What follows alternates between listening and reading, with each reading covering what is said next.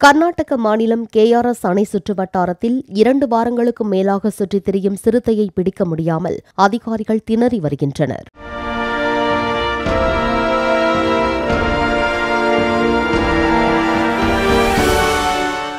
KRS அணையை ஒட்டியுள்ள வனப்பகுதியிலிருந்து சிறுத்தை ஒன்று வெளியேறி பிருந்தாவன் பூங்கா பகுதிகளில் நடமாடி வருகிறது. இதன் காரணமாக பூங்கா தற்காலிகமாக மூடப்பட்டுள்ளது.